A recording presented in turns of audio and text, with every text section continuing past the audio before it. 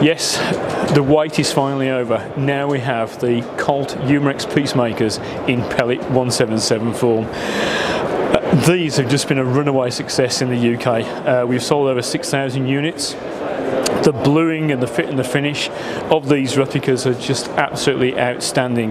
But again, more importantly, now comes the rifle barrel in 177 pellet. And just look, Giles, at the actual fit and finish on this. This almost matches Colt Original Blue. How deep and luxurious it is. It just is probably one of the best replicas on the market today. And again, a licensed Colt product.